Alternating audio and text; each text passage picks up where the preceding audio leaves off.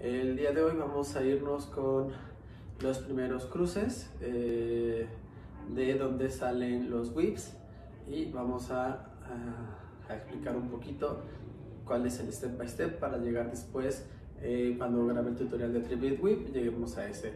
Pero el día de hoy vamos a llamar los crossers y vamos a darles.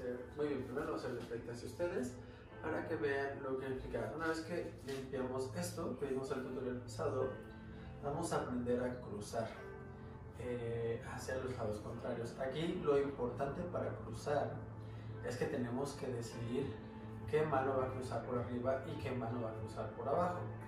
Eh, lo voy a hacer con un apoyo porque quiero que ustedes lo hagan primero con un apoyo para que creen esa memoria muscular y después eh, lo pueden hacer con las dos manos. Entonces primero lo vamos a hacer con la mano derecha. Entonces estoy girando un apoyo y a la hora de cruzar voy a cruzar por arriba de la mano izquierda. Entonces cruzo mi mano izquierda y me quedo cruzado. Regreso y regreso mi mano izquierda. Ahora lo voy a hacer por abajo y regreso. Lo hago por arriba, me quedo el suficiente tiempo para sentir este movimiento y acostumbrarme y regreso. Por abajo me quedo y regreso así de lado por abajo, por arriba, por abajo, por arriba. Un error muy común que la gente hace y por la cual se pega es que cuando quiere cruzar, cruza muy rápido y hace que choquen las poli. Por eso es que yo los pongo a hacerlo paso a paso y si se dan cuenta no cambio la velocidad cuando cruzo. Solamente cambio la posición de la muñeca y el momento en el que mi brazo la lleva es el que me está haciendo llegar a ese punto. ¿Ok? No lo aceleren cuando estén arriba porque van a pegar y se van a pegar. Entonces, una vez que tenemos ya practicado una y una mano, por arriba y por abajo, vamos a hacerlo con las dos, pues vamos a decidir cuál va a pasar por arriba y cuál va a pasar por abajo voy a empezar pasando derecha por arriba. Entonces el ejercicio es pasar derecha arriba y quedarse el tiempo suficiente y regresar. Derecha arriba, me quedo el suficiente tiempo y regreso. Cuando me siento cómodo haciéndolo por arriba, cambio por abajo y me quedo el suficiente tiempo y regreso. Cambio lado, por arriba, me quedo, por abajo,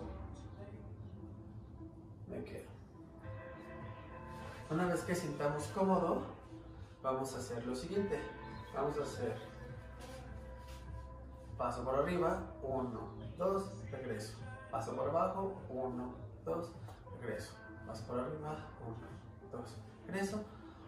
2, regreso. 1, 2, regreso. 1, 2, regreso. 1, 2, regreso. 2, regreso. Una vez que lo sintamos cómodo con tus tiempos, vamos a hacerlo seguido. Vamos a hacer arriba, abajo, arriba, arriba. Entre más estirados tengan sus brazos, más control tienen del boy y de ese momento en el que tienen que pasar.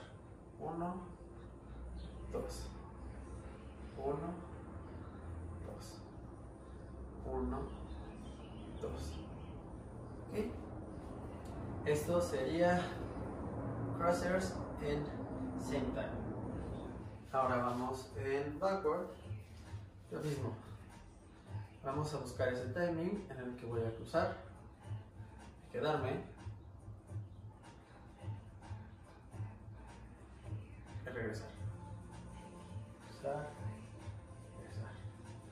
regresar. Ya no hacer lo mismo hacia atrás.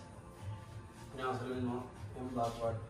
Hago uno, me quedo, me quedo por abajo y después vamos a hacerlo seguido. El mismo ejercicio, pero ahora hacia atrás. Eso es lo que sigue. Bueno, entonces ahorita nada más se los expliqué en same time porque el siguiente paso en split time ya se llama tribute whip y bueno eso ya lleva un poquito más de explicación de tiempos de movimiento de cuerpo y de cadena. Bueno amigos, como vieron, de estos crossers salen los tribute whip. Eh, entonces en el siguiente tutorial ya les voy a explicar hacer, cómo hacer tribute whip y también como ya empezamos a limpiar este plano, les enseñaré en el tutorial después del tribute whip el busao. Entonces estamos en contacto. Ya saben, pueden escribirme por Facebook, por Instagram, eh, subidos de los tutoriales a YouTube por cualquier cosa también. Y pues bueno, estamos en contacto. Cualquier duda escríbanme y fuerte con su cuarentena. Gracias por verme, nos estamos escribiendo.